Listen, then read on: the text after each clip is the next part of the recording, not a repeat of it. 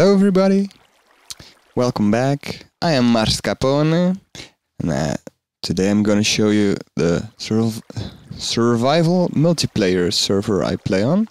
So I've been thinking about how I'm gonna show it to you, and I've decided to, cause I have a couple of bases here since I've been playing on this server for about about a year now, I guess, and I think I'm just gonna show you. Uh, I'm just gonna show you one base at a time, and this time it's the jungle base.